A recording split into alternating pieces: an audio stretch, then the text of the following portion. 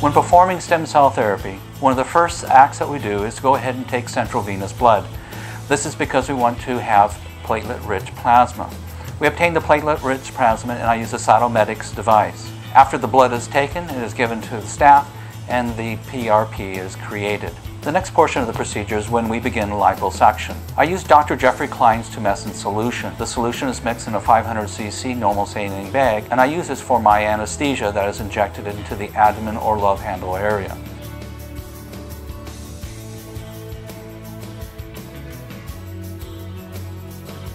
After waiting approximately 30 minutes, we've achieved adequate anesthesia. I then introduce my cannula that will collect the lipoaspirate. The lipoaspirate is collected in a 50 cc syringe. After collecting the first 50 cc's, I will go to the other side of the patient and collect another 50 cc's of the lipoaspirate. Lipoaspirate is then given to my staff who will then process it through the device that will create adult mesenchymal stem cells. Once the liposuction is complete and we have our specimen, it then goes through the centrifugation process and a shaking process whereby the stem cells are concentrated. After removal of the syringe, what we will do is we'll go ahead and remove the tumescence and drain it.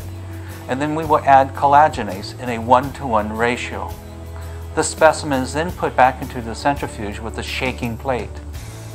The process of shaking takes about 30 minutes.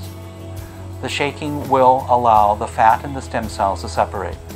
So at the very end, what we're injecting inside the patient is purified adult mesenchymal stem cells. The process involves four actual spins to create your purified stem cells. The first spin is at 5 minutes, the second one is at 30 minutes, and then the subsequent uh, third spin is at 5 minutes, and then the last one is for approximately 30 minutes. So after the final specimen is obtained, then we want to know the exact cell count from what we aspirated earlier in the procedure. A pipette is then taken and a portion of the specimen is put onto the device that gives us an exact number of stem cells.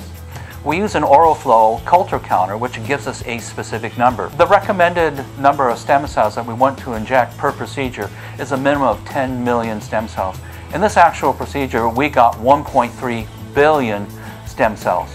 The solution is then injected into the patient with a 5 cc syringe, 0.2 cc's of the stem cells is injected every one centimeter into the subcutaneous dermal layer. It is injected into the entire frontal, mid-scalp, and occipital regions.